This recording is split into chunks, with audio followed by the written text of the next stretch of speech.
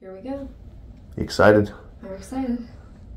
It's only 14% chance of working. And we got three tries.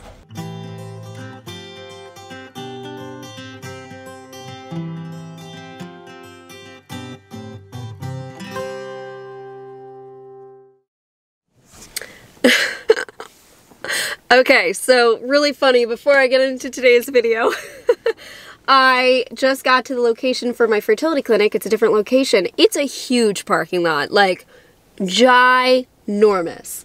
And it's empty because it's Sunday morning. And I'm like, you know what? There's a few cars up front.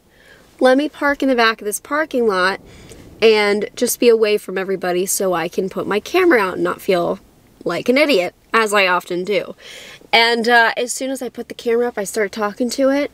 This car pulls up into the one parking spot next to me. I parked two from the end because I thought I was going to hit the curb. But they pull up right next to me in this, like, potentially thousand space parking lot. It goes, it's huge.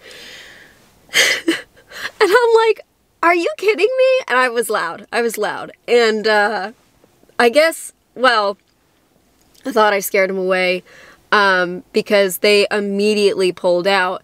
And they pulled out and they pulled back onto the road. It turns right out there. And I looked at the back and it said student driver. So now I feel like a jerk. Whoever was teaching them was probably like, oh, look, this idiot parked like crooked. Try and park next to them. So you're welcome for the learning opportunity. Anyways, I am here this morning. I am getting another follicle scan to see if we made it to 18 millimeters. Um, I'm nervous. I, I don't know why. I know why. It's because if I did make it to 18, I have to inject myself tonight. So that's a little scary. I know that I have been doing injections for quite some time now, but they are pens. I don't do syringes. I mean, here's the thing. I've given lots of injections because I was a nurse. I gave vaccines, I was a diabetic nurse, so I gave lots of insulin. Subcutaneous injections are nothing new to me, except that I've never done it on myself with a syringe, where I can see the needle, I'm in control of the needle. So if I am at the right size, that's my plan tonight. That's what I was told. If not, I will come back in for another monitoring appointment, which I would assume would probably be tomorrow if I'm getting close to the right size. So, oh my gosh. This location though took me about an hour to get to.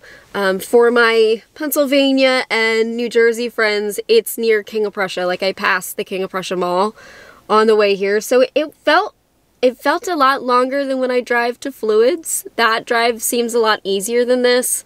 Um, but I, you know, I got here fine. I'm really looking forward to see what happens today. It kind of will tell me Thanks, Google. It'll tell me kind of when I'm going to go in for the first IUI. That is insane. Um, of course, there is that hurdle of taking the trigger shot, but we'll get through it. It will be fine. And, um, wow, I'm, I can't believe I'm here. I'm setting my expectations realistically, of course, because the, the chance for any of these IUIs to work is only 14%, but that feels like the closest I've ever been. Because I never assumed I would be able to get pregnant on my own, so I also just didn't realize the amount of time that goes into all this fertility stuff, even though it's still considered a low-tech fertility treatment.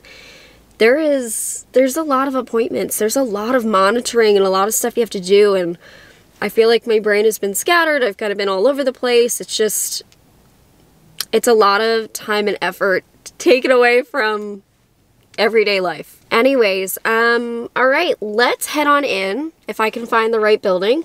Let's head on in and see how big my follicle got.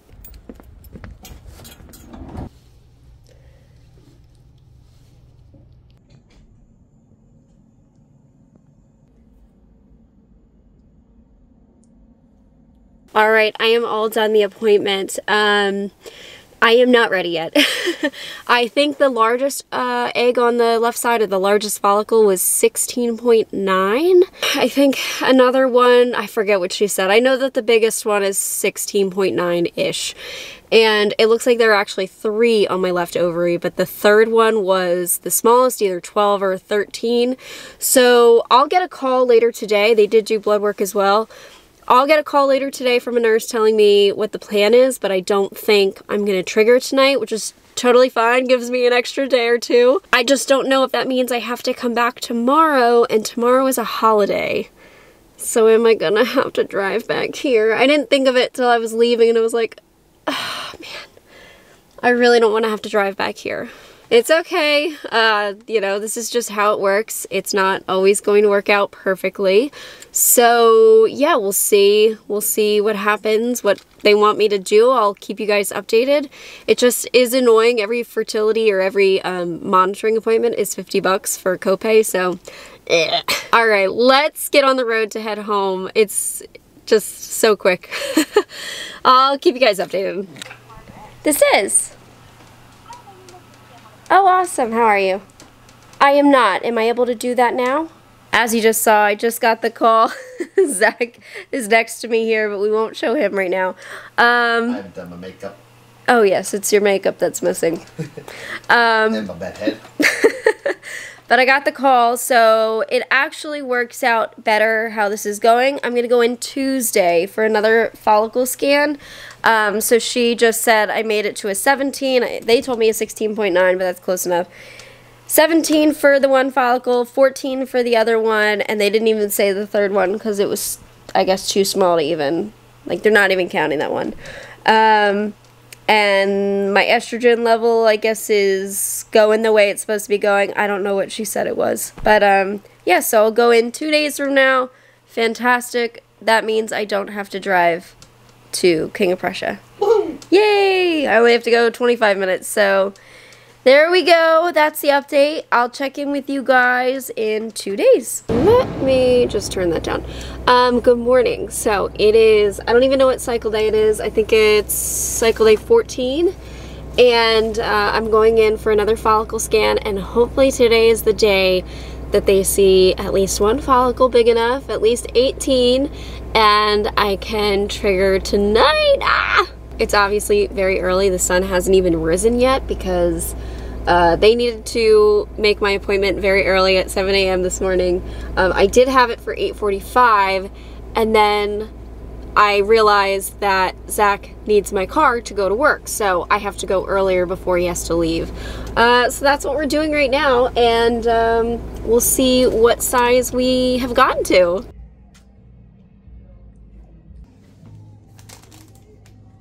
Okay, well, you can probably guess how things turned out. Eee! If you didn't know, this contains a specimen cup, so we're there. We're there. Zach and I made guesses last night on how big the follicle would be, the dominant one, and he said 19 and a half, and I said 20 and a half, and we're both wrong because it's 24. I, in the past, when I am near ovulation, I have been pretty sure that I felt some mild cramps, some small little twinges here and there, and I think it's confirmed because uh, I am I can feel it. Like I can absolutely feel my left ovary and it's so weird. So I told the nurse practitioner who did my ultrasound this morning that like I'm pretty sure I can feel this because I am cramping. And she was like yeah makes sense with your your big uh, follicle going on there. So ee. I do have to wait for the blood work because I also got that done again um, and they're going to give me a call later today. But yeah, my uterine lining looked great too. It was almost an 11. She said that they like to see at least an 8 uh, around this time for ovulation, or at least for when I do the trigger shot. So as long as all the blood work looks great, then I will be giving myself an injection this evening. That's okay. Well, we're going to do it. It'll be fine. It'll be totally fine. I'm a little nervous, but it'll be okay. So, oh my God. I'm going to check in with you guys a little bit later today. Undo this. Alright, I have the Ovidrel injection. Zach is sitting right here on the bathtub. I'm nervous. I was told to take it between 6 p.m. and midnight. 741. Okay, perfect. But did you ask time zone? Do they mean Eastern or Pacific? I'm gonna assume Eastern.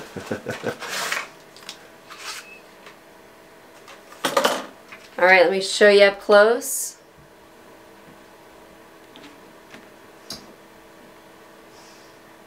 There it is. Okay. Oh gosh, I don't like this. Alright. Big scary needle. It probably isn't that big of a needle. It's just subcutaneous, so it's like, like, oh, my hands are so cold. My Humira needle is super tiny. Um, but, okay, I'll just tuck this under my shirt. Okay, see, okay.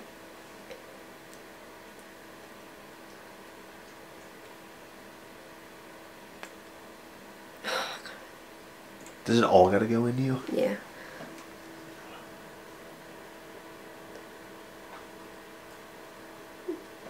Honestly, the needle is not that bad. You can barely see it on camera, but it's still like scary. So you got to get the bubbles out. So you just pull back a little bit and then push forward. There we go.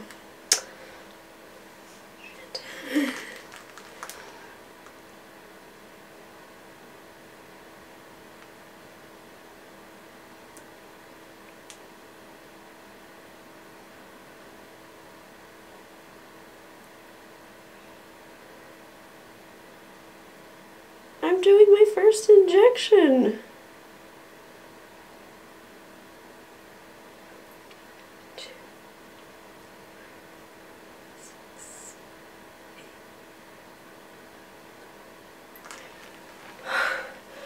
I felt like I was gonna pass out there for a second. I did not enjoy that. I just felt like I was gonna pass out. Whoo!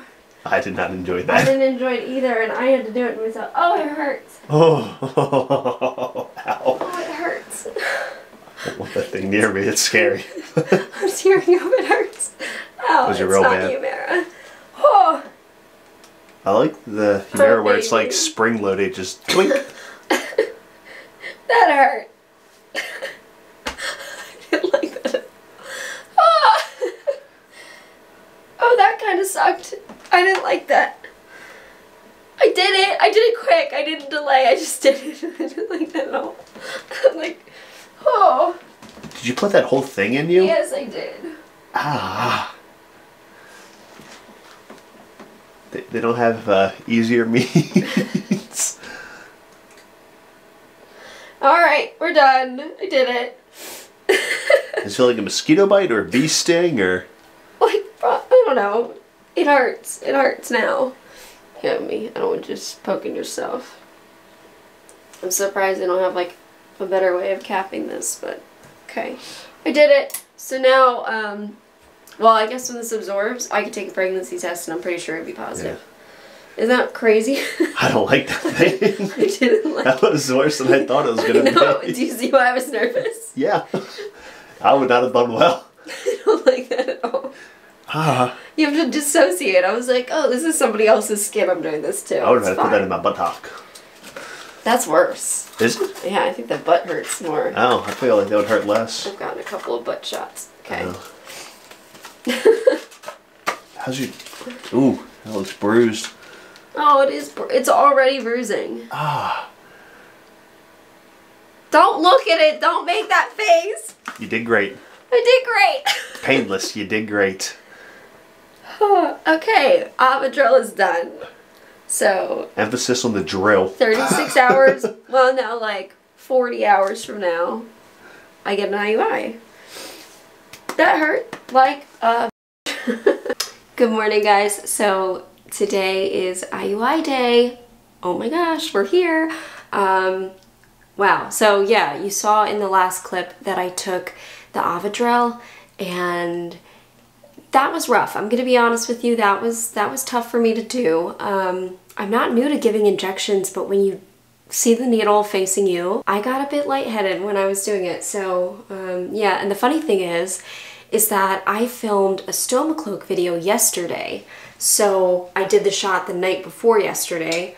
Um, but when I was filming my belly to show the ostomy cover on my ostomy, I didn't realize that the bruise would be so prominent. It's it's definitely there. So yeah. Um, anyways, the interesting thing about the Ovidrel is that you will test positive for pregnancy. So it is, I guess it's just um, HCG or it's very similar to HCG. So I'll show you.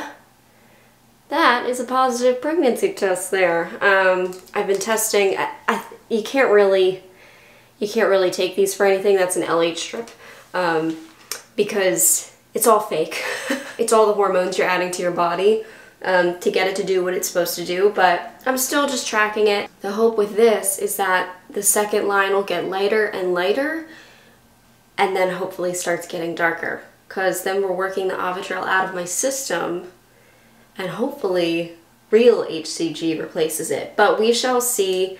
Again, trying to keep my expectations realistic with this.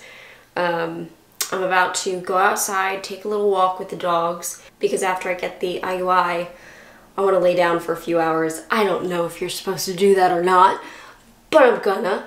Um, probably wouldn't hurt anything to do that. So, and then my plan is to every morning do a walk to hopefully, I don't know, increase the blood flow to my uterus to hopefully help with implantation if it's gonna if it's gonna do it.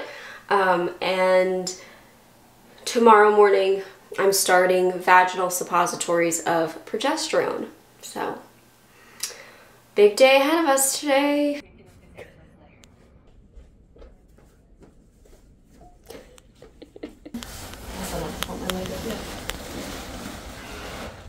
Here we go. You excited? I'm excited. Only 14% chance of working. And we got three tries. The moment of truth. So they're going to use the speculum to open. Is that the thing next to you? This is for the ultrasound. This is what I have been getting. Oh, okay. You know, I wonder if they're going to do blood work. I guess not. Hmm. Any words for everybody? Keep your fingers crossed. Checking back in because I was just asking. So, what they kind of told you to do, or the process, or the procedure. they told me to take my pants off. So I took my pants off. Now they're gonna they're they washed your specimen.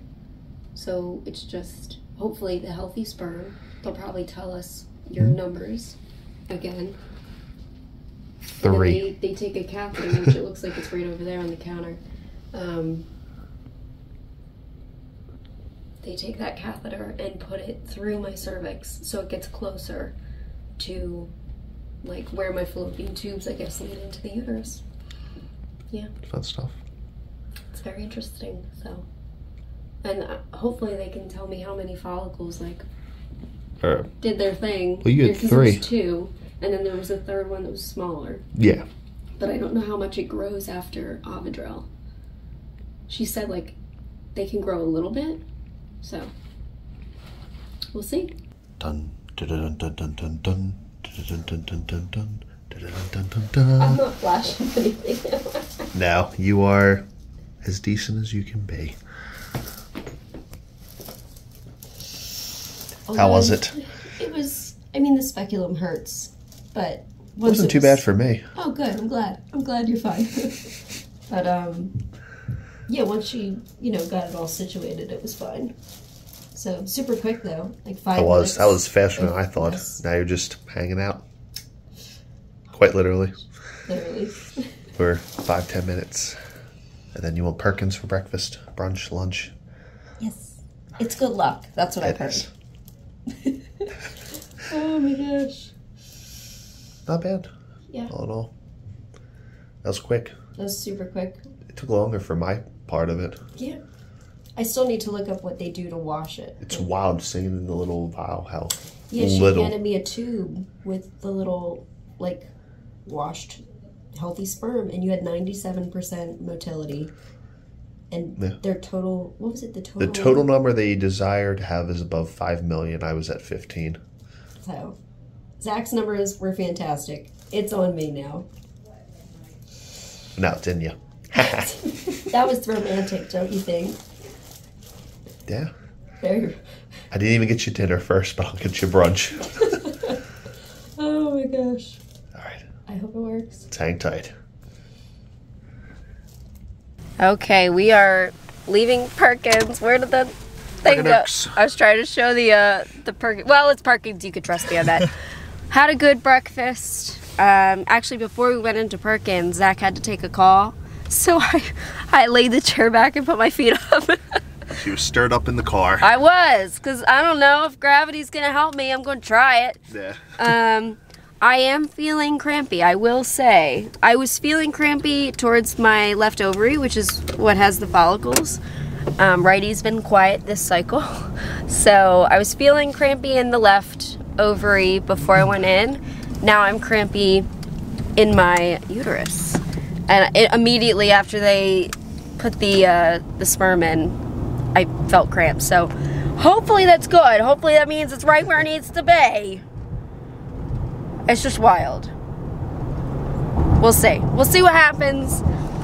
I'm excited. I'm done the first IUI technically, and now it's just a waiting game. It's just um, two weeks.